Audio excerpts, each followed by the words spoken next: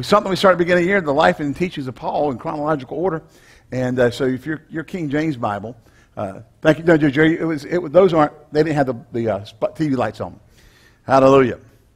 Um, we're teaching on the life and teachings of Paul, life and writings of Paul in chronological order. And um, we're doing a, so your King James Bible has his writings in uh, the way they did the canon of the Bible, uh, in English at least, is it took the longest letter to the shortest letter and did the letters to the churches and then did his personal letters right after that in the same format, longest to shortest. But that's not chronological. Uh, they chronologically were written. Uh, we know that, that First Thessalonians was the first letter that Paul wrote. And so we're doing a study through the book of Acts. And wherever Paul is, when he wrote a letter, we stop, leave him there, and go study the book he wrote. All right, so we're in 1 Corinthians right now. He's left. We're waiting for our map to get up. I want to point. I got my little laser pointer thing there.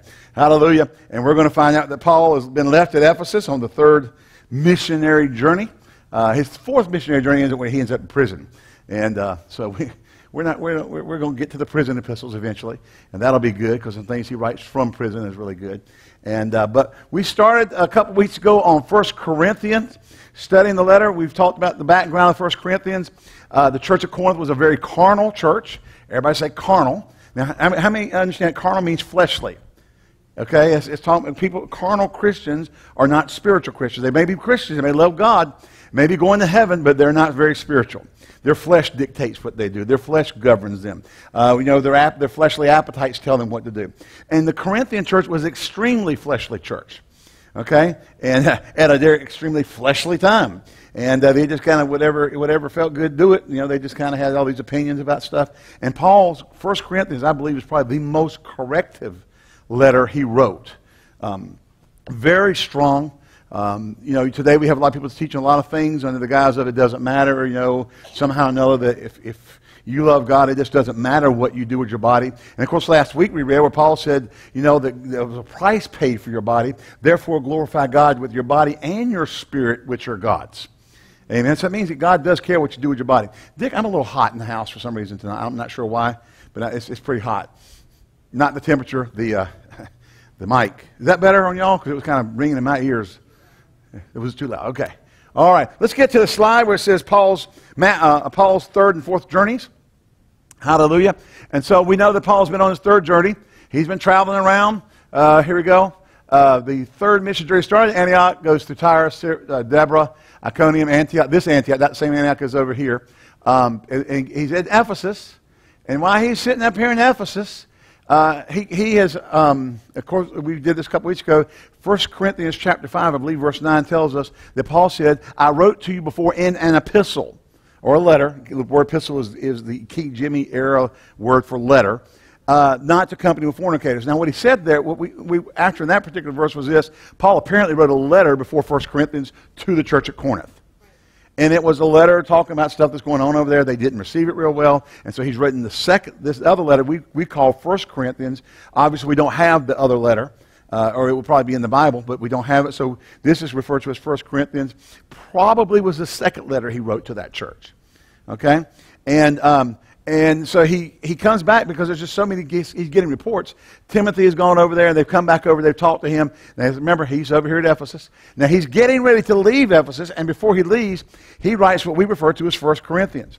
And in that letter, because there begins a lot of correction, a lot of things about their, you know, flesh. Now, I love it, though. 1 Corinthians, in chapter 1, he talks about you come behind and no gift. You know, he just said, you know, you guys are great, you love the God, you got zeal for the things of God. Then, bam, but you are carnal. Hello. I mean, you know, you, you, one says I'm of Paul, one says I'm of Apollos, one says I'm of Cephas or Peter. Cephas was, was another name for Peter.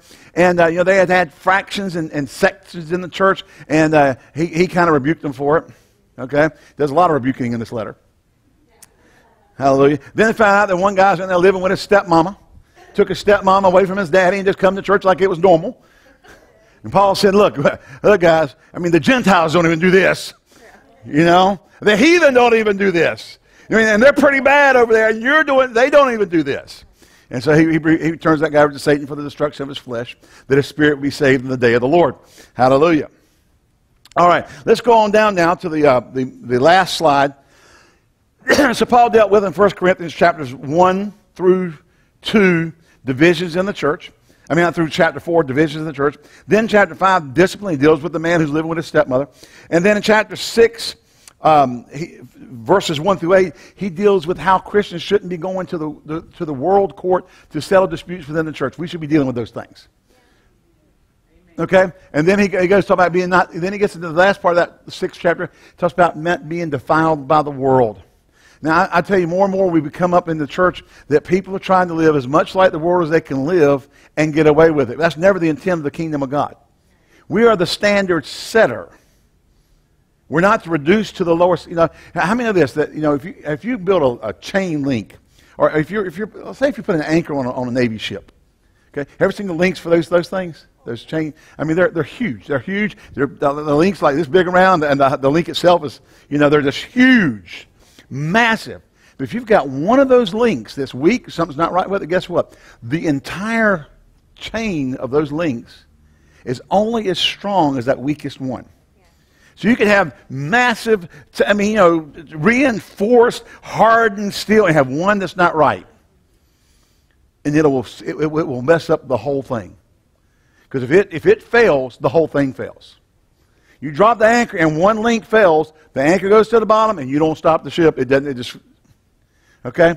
And see, God never intended for the church to have weak, weak links. We're not trying to reduce, so in other words, the strength is only as strong as the weakest part. So it is, the, it is the, the purpose of the church to develop the believer, to grow the believer, to bring the believer up so that every part is strong. Amen. We're not trying to become as weak as we can get so that we can, you know, marginally be different from the world and get people to come in. We're to be strong enough and so strong that we can bring them in and bring them up to that higher standard, which is walking with God. All right, so we talked about defilement with the world. You have to go back and listen to those on YouTube uh, or on our website. And then he got it. Then Paul goes into chapter 7, which was where we were last week.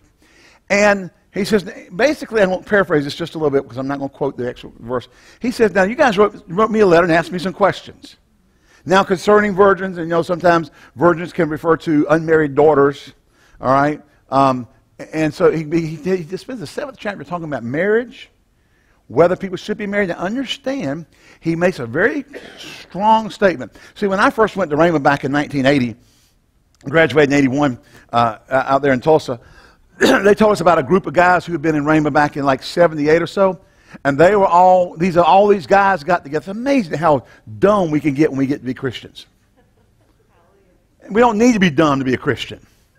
But all these guys got together and they formed the Burr Club. Bachelors until rapture. Every one of them are married.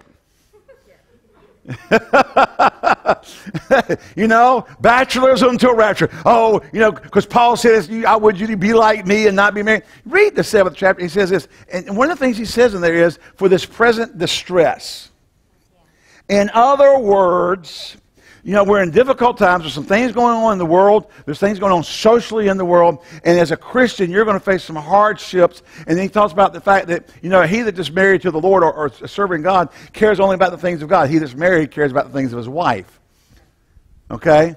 And so he's saying, under this present distress. The qualifier for a lot of those things he said was, you know, just what's going on in the world right now, it's, it's just difficult to get married and be a Christian because of the persecution, because of all the stuff going on, that kind of stuff. It wasn't a doctrinal thing that we should all be unmarried. Right. Hence, no reproduction. Not biblically, anyway. Okay? Because if you're all reproducing, you're not, you're, you know, you're getting in trouble. You know, God don't want you in trouble. God, God wants you to go on. Amen. Isn't that right? Hallelujah. Well, well, you know what happens if you know, you know. of course, we, we will get to some things other other on, on the later on in some other letters about what we do when we miss the mark and we do sin. What you know, what coverage God has good coverage for you. God's got a God's got a restoration plan for you. Amen. Amen. All right. So anyway, you know that stuff set in chapter seven. He answered those questions, and in one place he says, "Now I think you know, really, I think God didn't say this. This is kind of my opinion." And that's, you know, I have to read kind of through the King James if you're reading King James. Uh, sometimes he word, they word stuff that's a little archaic for us now. All right, so now we're to chapter 8, and, when he, and we can turn the heat off. Dear Lord. It was a little chilly when we got in here, but it does not take this system long to get hot. Get, uh, did uh, somebody want to get me some? Yeah. That's where you go, Jesse. All right.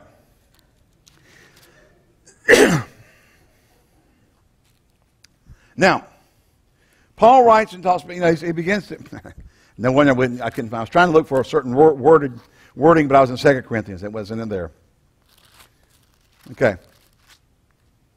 Now, chapter 7, verse 1 of 1 Corinthians says this Now concerning whereof, the things whereof you wrote unto me, and then you know, he goes on. Paul begins to answer some questions that they had. Okay? Starts in chapter 7, goes to the end of chapter 10. Chapter 11, he moves on to some other things like how the Lord table, Lord's table is supposed to be conducted. Okay? But chapter 7, 8, 9, and 10 are answers to questions from a letter that the church at Corinth sent to him over in Ephesus. And again, that wasn't that very far. It was just across the little, the little strait there. Hallelujah. And so we dealt with chapter 7 last week. Let's get into chapter 8, because, you know, again, these are answers to questions. Okay? He says, Now, as touching things offered unto idols, we know that all have knowledge. And but now, listen, me, now King James can say this a little funny sometimes. He said, You already know this. Raymond says something on the line, you already know this. You know, uh, we all have knowledge, but knowledge puffs up, love edifies. In other words, don't think you know everything and get puffed up about it. Now, that's one of the things we deal with in the church today, particularly um, with some of the stuff that's going on. People think they got the grip on the whole world, and they're, they're the, you know, somebody was, writing, somebody was writing a blog today about some stuff that's going on.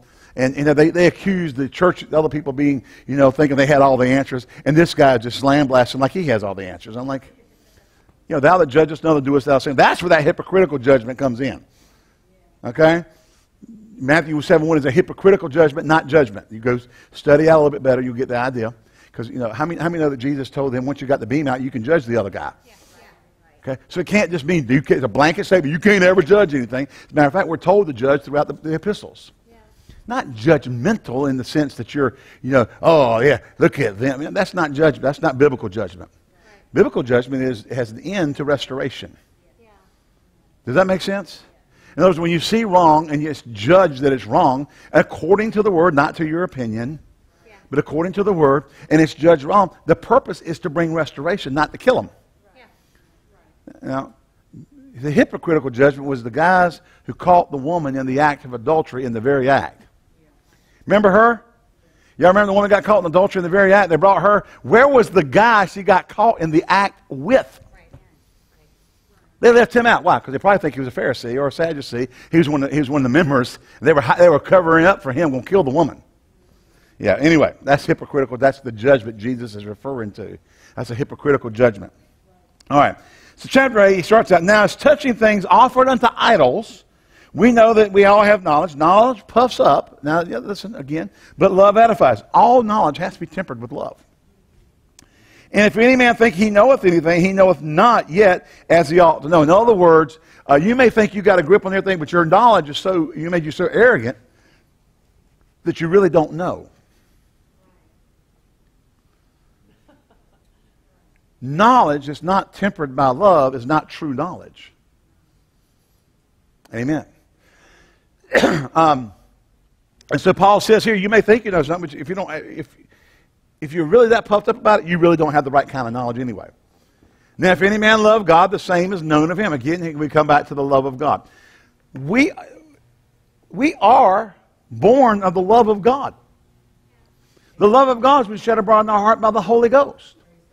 So, like I said, you know, remember Paul wrote to the church at Galatia and said, Brother, if you see a brother overtaken in a fault, Ye which are spiritual, restore such a one in the spirit of meekness, lest ye be tempted likewise. Now, how can you see him overtaken in a fault if you don't judge it? Right. But see, here's the tempering factor. Ye which are spiritual, uh, restore them in the spirit of meekness. In other words, the love of God can governs how you, how you deal with that action on their part, and not, you know, you're better than them. See, hypocritical judgment is the Pharisee standing and beating his chest saying, I pray three times a day and I fast often and I do all this, you know, and then the man's down there weeping and saying, you know, forgive me, I'm a sinner. You know, I'm, I'm not like this guy. I'm better than him. That's hypocritical judgment. God don't like that. And here he says, uh, if any man love God, the same is known of him. Now, as therefore the eating of those things that are offered in sacrifice unto idols, we know that an idol is nothing in this world, and that there is none other God but one. Now, here we come. We're going to talk about spiritual people who are mature in God, who understand that if I eat this T-bone steak, it don't matter because that thing ain't a real idol in the first place. Okay? Now, now he's, he's, establishing the fact that, we, that the, the, the people who understand that know that.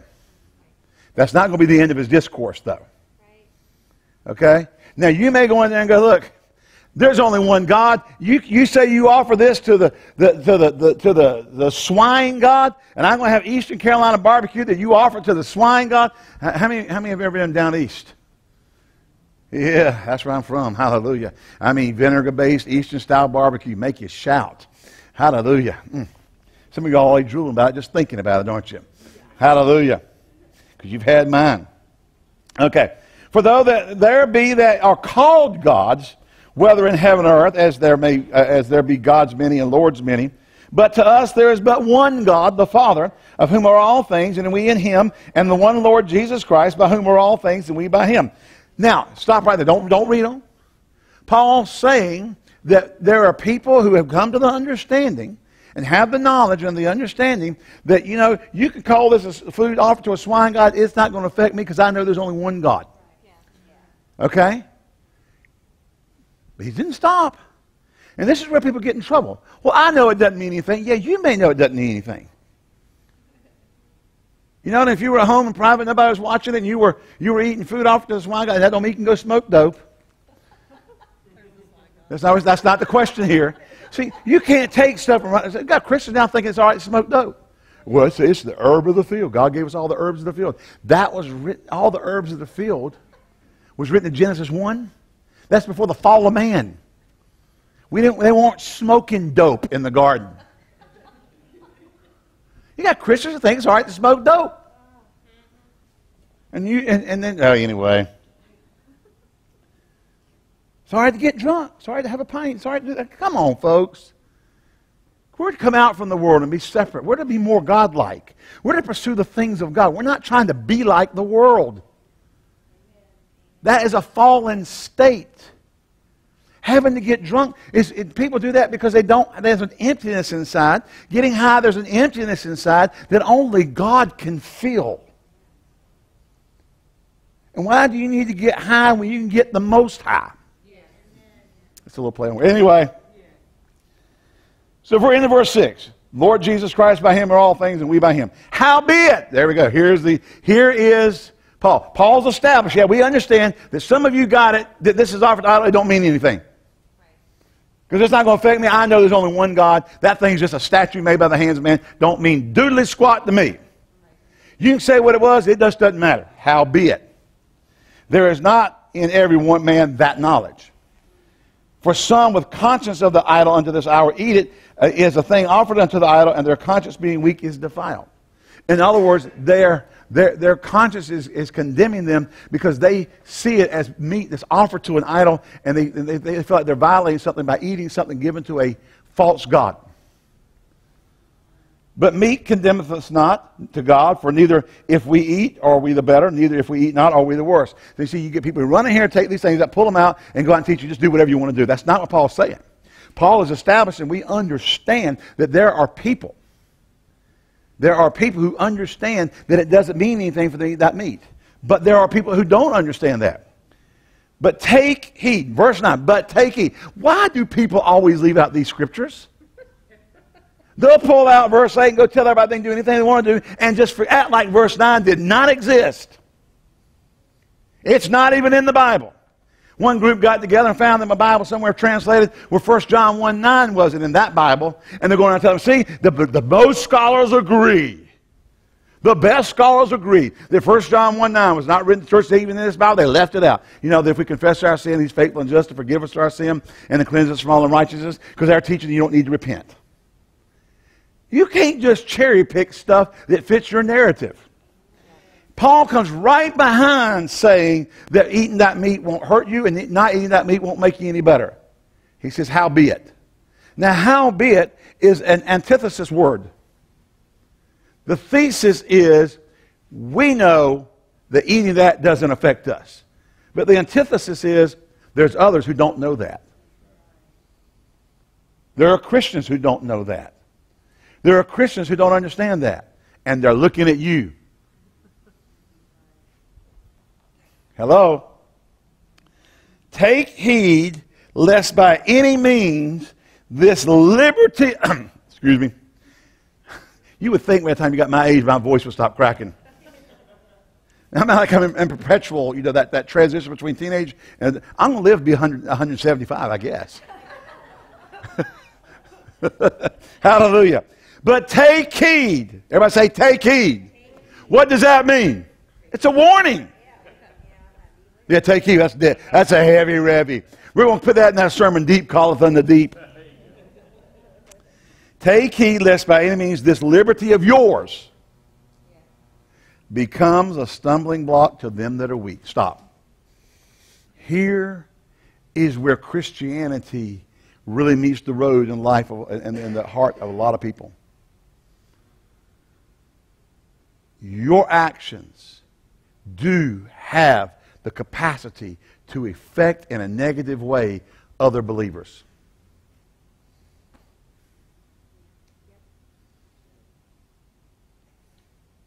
And there's a big thing now. I know one, one I heard one church somewhere, the men's fellowship are stogie parties. They get together and smoke big old stogies. What in the world, and, and drink beer. What in the world are you going to do to a weak believer? Well, I've got liberty. Yeah, but you're letting your liberty can very possibly become a stumbling block to a weak Christian. And who do you care about? You? Greater love hath no man than this, than he laid down his life for his friend. The imperativeness of the walk as a believer is that we are going to deny ourselves certain things not to be, become an offense to others in the body. Not, not outside the church, in the church. I know you can't, you can't live completely pleasing to everybody's idea of everything. I, I know I got, um, my pastor's brother-in-law uh, from Greenville, down in Greenville. His brother-in-law's up in Cleveland. He's on, he's on TV, their TV station up there all the time. And he was somewhere out in public, and this man walked up to him, older man walked up to him and said, hey, I know you. He said, he said, really? He said, yeah, I know you. I said, you're on TV. He said, yeah. He says, my name is, is so-and-so. And, and the guy says, no, but I, you don't understand. I know you. You're full of arrogance and pride. You may fool all those other people thinking you're some big man of God, but I know you. You're full of arrogance and pride. He said, what is it that I do? He said, you walk with your head up. A humble Christian would walk with their head down. He thought, maybe I walk with my head up so I won't run into stuff. you know, so that, that, that's, that's just ludicrous. We can't, you can't live in that. But if your actions are going to call it, see, that person's not weak. They're, they're, they're, they're, they're an idiot. Did I just say that? Don't, don't. Okay, I'm, I'm sorry. They were an idiot. en français, oui. Sounds better in French, doesn't it? Say idiot. Yeah, anyway. You could just say, oh, to a bet. He's stupid. Anyway. But let not his liberty take, uh, become a stumbling block to the end of the week. For if any man see thee, which has knowledge, sit at the meat in the idol's temple, shall not the conscience of him which is weak be emboldened to eat those things which offer to idols? And the, through my knowledge shall the weak brother perish for whom Christ died. That's pretty heavy. Paul's saying, because they, because they, wrote the letter and they asked specifically about meat offered to idols. He said, and, and he's coming back saying, look, some of you got the, you understand that, that in Jesus Christ, there's only one God, there's no other gods, but you got weak Christians, and if they see you doing it, and their conscience is, is, you know, because they believe it's really something offered to an idol, and it violates their conscience to eat it, and they see you doing it, you're going to embolden them to violate their conscience. Now, we can take that principle a lot of places in the kingdom of God. Hello? We have got to learn that we have to prefer people above ourselves. Now, people holler grace, grace, grace, and the love of God. They also talk about the love of God. where's that love of God working in you? They're always saying, because they always say the love of God, the grace of God allows them to do whatever they want to do. Yet Paul said, okay, even if you're doing what you want to do, if it's affecting another believer, you're causing them to stumble. Now, remember what Jesus said about causing the, the little ones to stumble? He says, bell for a millstone be tied around the neck and dropped in the ocean. And to cause one of these little ones to stumble. I'm under grace. See, you can't keep running back there. You can't run and hide under something when the Bible specifically addresses something in a way that you can't get around. And most people get around it by not acknowledging this in the Bible. Well, he was writing that to unbelievers. No, he's writing it to the church. But, verse 12, when you, listen to what he says this. Listen to what he says. Listen up. But, when ye sin so against the brethren. He said, doing what you know you get can do because you can do it, and it causes another brother to stumble is sin. I know people don't like that word in the church. I, wrote some, I read somewhere today, somebody said, oh, Jesus dealt with your sin. There's just absolutely no more sin, period.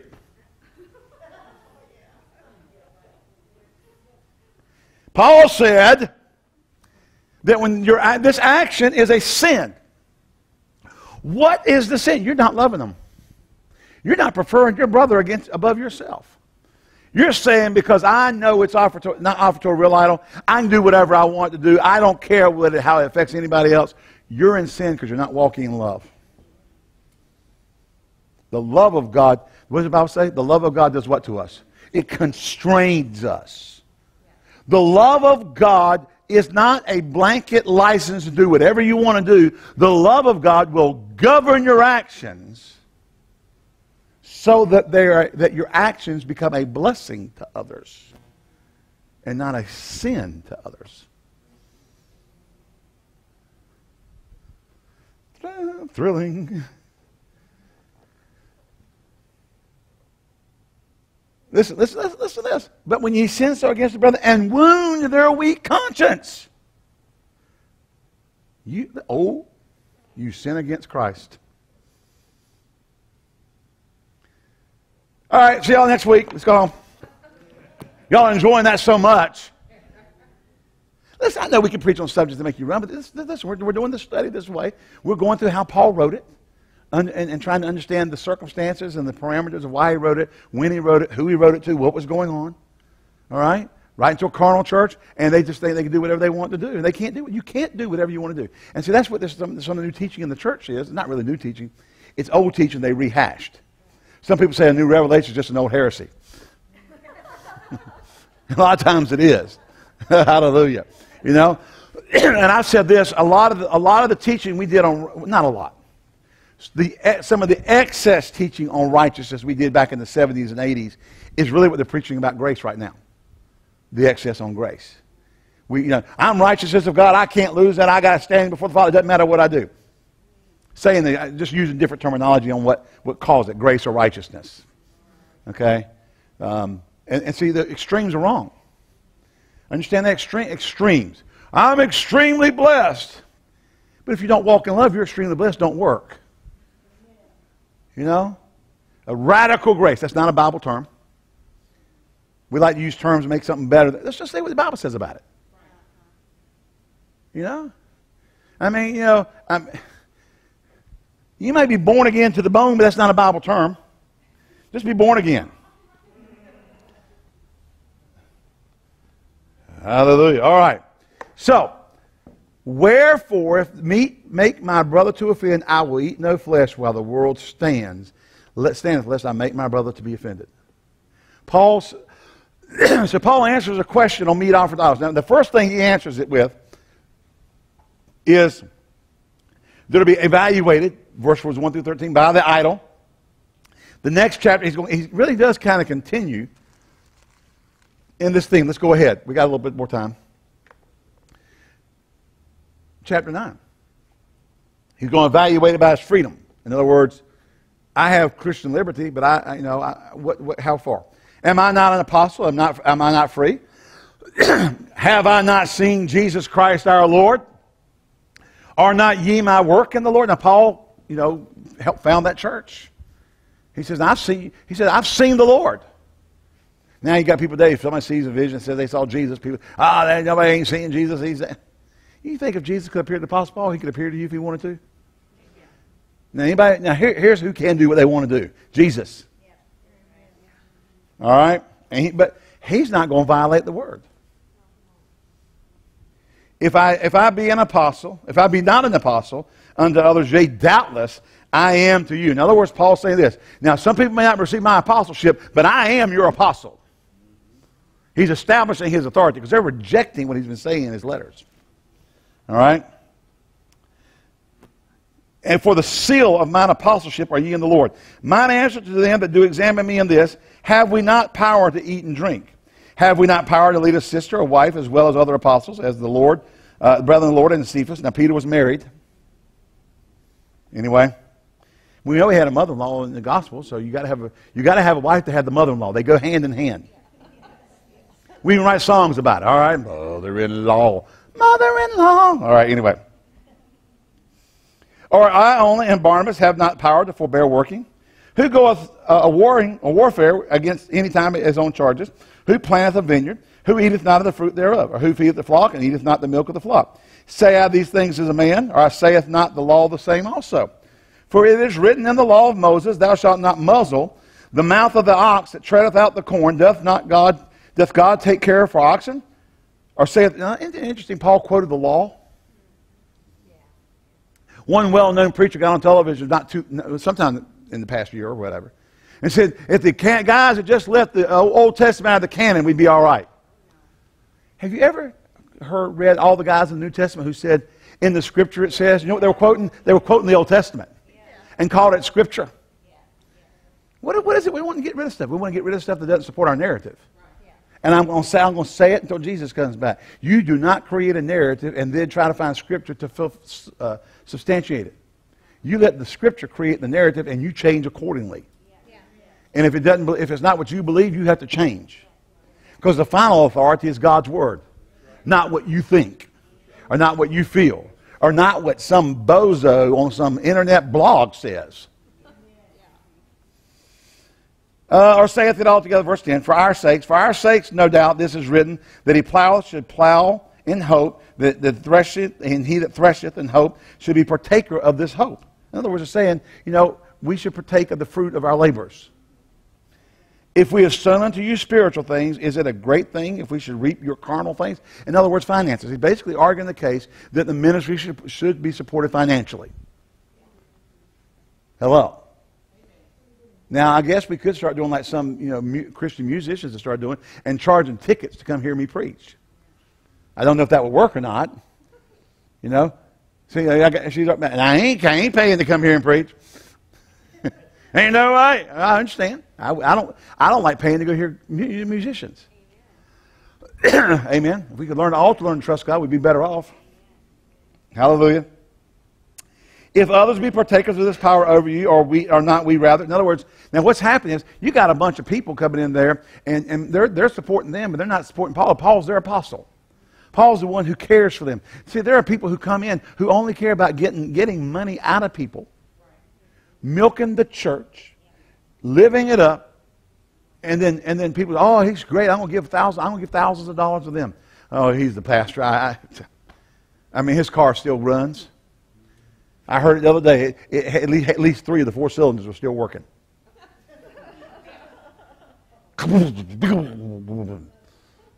Hello?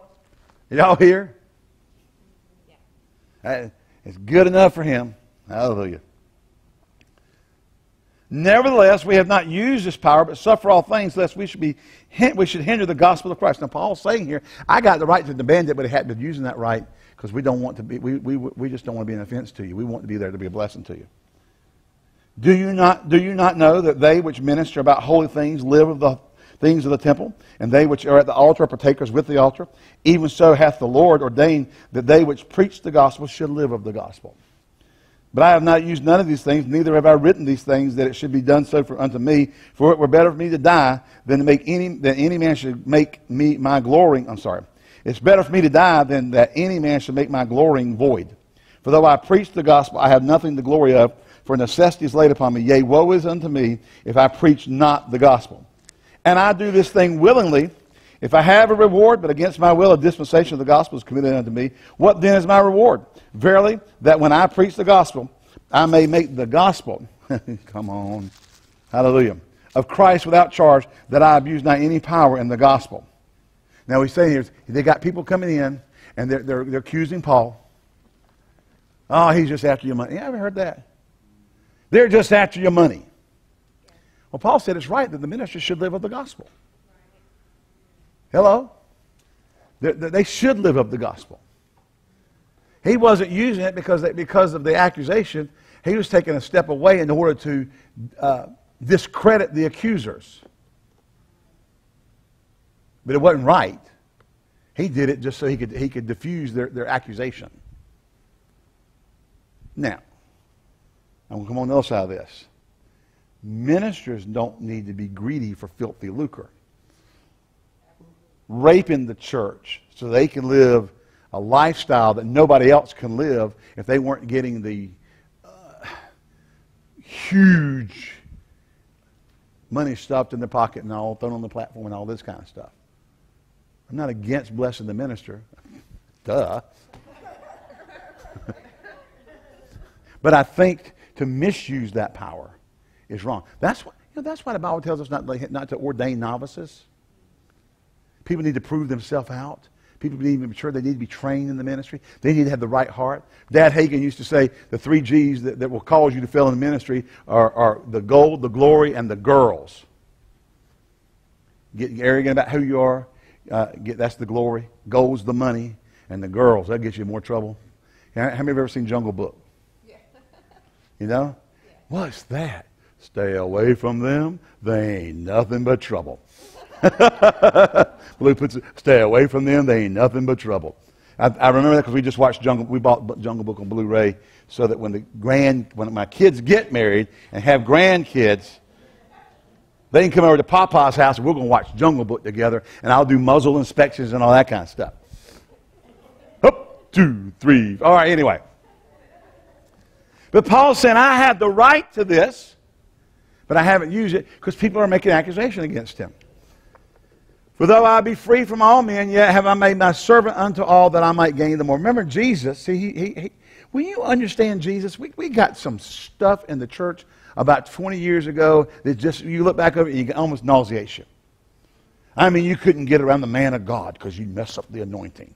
Yeah. You need to spend more time with Jesus then. Because Jesus was around people and it didn't mess up the anointing. As a matter of fact, he went to a crowd one day and everybody's there just touching him, banging on him, touching him. And somebody crawls to the crowd and touches the hem of his garment and gets healed. Because Jesus knew immediately that virtue or power went out of him. Turned about in the press. Everybody been to Disney World in the middle of the summer? It's a press. Back, especially when I, I lived in Florida uh, when I was like 69 to 70, a couple years down there in West Palm. And then we, they were building Disney World. We went back in, in the, like, year 76, 77. I met Jamie 77. We went Christmas of 77. Christmas. And of course, you didn't have all the, you know, a lot of the extra stuff. You know, all the, you had, you had Magic Kingdom and Epcot. Okay, that was about it. Main Street going in. If you got separated, you ended up wherever the crowd went. That's a press. Jesus turned about in the press and said, Who touched me? And, and, you know, the disciples, they're a real spiritual bunch. Boy, I'm telling you, they just walk up to Jesus and go, Master, you see the multitude thronging you, and you're asking us who touched you? Here's the, they didn't say this. We don't have this recorded in the King James, but I'm telling you, this is what they're thinking. Everybody's touching you. And he just ignored them. I know he had had a Moses moment. What did I do to deserve this bunch? Okay? That's what Moses did. He went, he went out before the Lord one day and said, What did I do to you? I mean, you gave me this bunch? You gave me two million of these carnal, fleshly Christ, uh, Jews to lead out. One minute they're singing the Lord has triumphed gloriously, cast all the riders in the sea. Next minute they're building golden calves, saying this was brought us out of Egypt. Now it's going to take us back. Hello? So Jesus kind of ignores them, turns about in the press. What happened? Now, Jesus is being touched by all these different people who have no intention of getting anything out of him supernaturally. They're just curious. But when somebody showed up with a touch of faith, they got healed. It didn't affect the anointing a bit. We got in this whole thing. We had ushers guarding the pastor so the anointing wouldn't be messed up. They came out of the side room before right service began and went back in right after so they wouldn't be affected by their demon spirits and all this crazy stuff. Are we not more spiritual? Have we not more mature? Have we not got the Holy Ghost on the inside of us that just because we just got through ministering to people, demons can't get a hold of us? Demons are afraid of us. Hello. We, cra- we get crazy with stuff sometimes.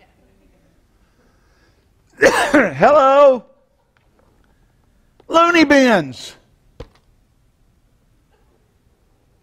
I understand if you've ministered real hard and, you, and you're tired, that's one thing. You just need to go rest because you're physically exhausted. If you minister, if you lay hands on 3,000 people, you can be tired. That's different than this, oh, he's under the anointing, get away from him. You got Jack Bauer standing there waiting for somebody to make the wrong move. I mean, come on. Jack is back May the fifth. Yes. All right. Anybody else excited? Beep, beep. All right, anyway.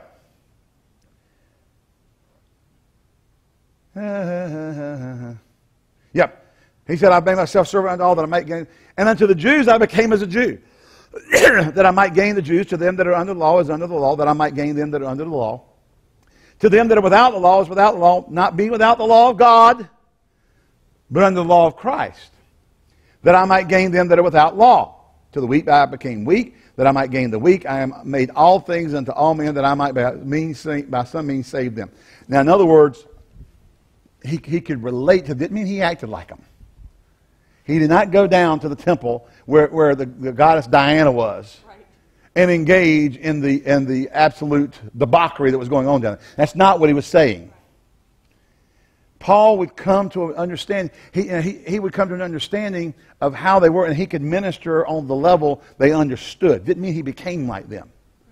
He didn't go into the hookah bar and, you know, and, and, and just smoke tobacco until he was like drunk with caffeine, I mean, nicotine. All right? He wasn't shooting up to win the heroin addict. That's not what he's saying. He's not saying become a prostitute so you can win the prostitutes. Okay?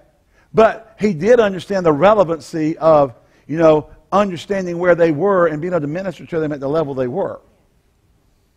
But you don't act, you don't start doing everything. Hello? I mean, can you imagine me showing up about the month from now, and you know, I, am going to take a, a, month sabbatical so I can come back and reach you know the rad, the radical emo youth. And I come back tatted up with you know, I mean, full sleeves and you know on the back, and I got and I got my ears pulled down here with big weights on them with gauge, you know, where they gauged it out, bolts in my face and all that kind of stuff. Now, number one, I can't pull that off. It just wouldn't work. Okay. Two, they'd see right through it. They wouldn't think I was cool. They would think I was a stupid old man trying to be cool. Oh, yeah? Oh, man, he, he, he, did you see that idiot in here today? He thought he was really had it. Now, see, now I may, may be understanding where they are and what's going on in their life and minister at that level, but I don't have to be them. When Paul says, I'm all things to all people, he's talking about, he, he, he understands how he, he, he finds a place so he can relate to them and minister to them without becoming them. Now, remember Jesus. How many know, we look at the Bible, Jesus, we know, was referred to as rabbi, Rabboni. Man, he wore, and we know that the clothes he, he had on at his uh, crucifixion, the, the, the, uh, the robe that he had on, was one piece sewn without seams. So much so they, they bartered over it. Yeah. He wore biblical type teacher clothing. Yet he ate with publicans and sinners. In other words, he could go sit down with them to minister to them without going, I don't, I don't hang around people like that.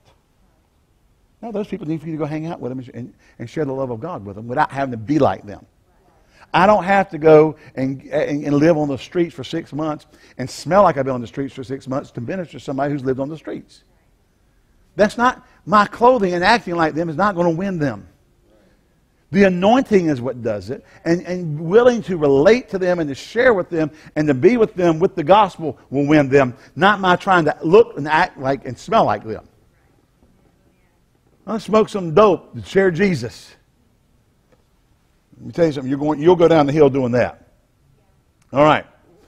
Um, verse 24. Know ye not that they which run a race, uh, run in a race, run all, but one receive with the prize. So run that you may obtain. And every man that striveth for mastery is. Underline these next few words temperate in all things. Now they do it to obtain a temperate in all things. That means you got control. Now they do it to obtain a corruptible crown, but we an incorruptible. I therefore run, not as uncertainty, so fight I, not as one that beateth the air. Verse 27. Everybody underline verse 27. Put stars beside it. I mean, if you got a magic marker, or not a magic marker, but a highlighter, highlight it. So I keep under my body, and I bring it unto subjection. Lest, and there's a reason. See, people who tell you that it doesn't matter what you do with your body, has no effect on anything. Well, Paul said it did. He said, if I, he said, I keep it under and bring it into subjection, lest by any means, when I have preached to others, I myself should be a castaway. And what Paul said was, let's, let's, use the uh, kind of opposite statement of that. If I don't keep my body under and I don't bring it into subjection, even after I preach to others, I will be a castaway. People who tell people that it, you just do whatever you want to do, it doesn't matter.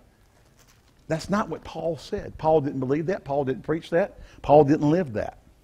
He said, I, I'm disciplined. Now, here's, here's one thing in the church Jesus never said go out and make converts, He said make disciples. The word disciple simply means disciplined one. Make people disciplined in the teachings of the Lord Jesus Christ. Now, it's not like any other religion in the world because in Christianity, you must be born again. To, be, to become a disciple of Christ, you got to be born of Christ. You have to be born and baptized into his body by the Holy Ghost. Amen. You can't get around that. So you must have the right entrance. It's not a conversion to a religion. You don't start practicing Christianity and the good moral teachings of Jesus and that kind of stuff. You have to come to know him through a, what Jesus referred to. He says you must be born again. The new birth. Now, of course, the world start picking that up. Everything's born again. You got to born again this, got to born again marriage, got to born again car, got to born again that, and, and, and all, all intended to water down the biblical statement. They may not maliciously do it, but that's the spirit of the world. They're always against the things of God. Even if they're not maliciously intending that, because the spirit that's operating is the spirit of disobedience, that's what it leads them to. So, become a disciplined one. And Paul said that he says, I keep my body under. That's a far cry from the stuff some people are teaching that it doesn't matter what you do with your body. Yeah. If you're keeping it under, you're governing what it does. And then he said, Not only do I keep it under, I bring it into subjection. I make it obey. Now, see, I grew up, I was born in 58. So, you know, by the time I'm 10, I'm in the late 60s. We're now uh, getting into the very, uh, almost to the height, the late 60s to the early 70s, the height of the hippie, anti establishment, if it feels good, do it era. That's, how I, that's where I grew up. Our songs, you know, ow, I feel good. You know? You know, and then, of course, if you can't be with the one you love, honey, love the one you're with. Oh, love the one you're with. yeah, that is a commitment if I've ever heard it.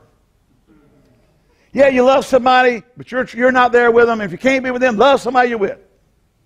That is the era I grew up in. And that mindset is a carnal, if it's a carnal mindset. There was free love. Woods, everybody talks about Woodstock, the day a, a generation came together. That day a generation got high and had sex all over the place.